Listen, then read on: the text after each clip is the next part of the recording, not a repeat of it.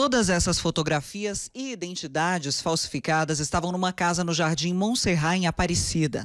O casal usava as mesmas fotos e alterava os dados para produzir os documentos.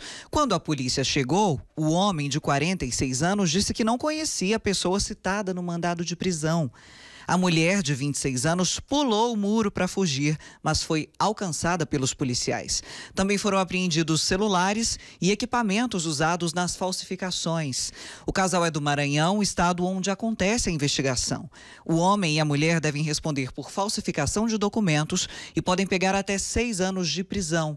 A delegada de crimes cibernéticos que apoia a operação explicou como os falsificadores agiam. E nessa oportunidade foram apreendidas mais de 60 documentos falsificados para abrir contas em instituições bancárias digitais e levantar valores é, é, de crédito ou de empréstimos que eles conseguiam ali obter com esses bancos. Através destes golpes, esses criminosos acabaram aí é, angariando ou chegando em valores lucrativos que ultrapassam 100 mil reais e na manhã de hoje foram presos em flagrante.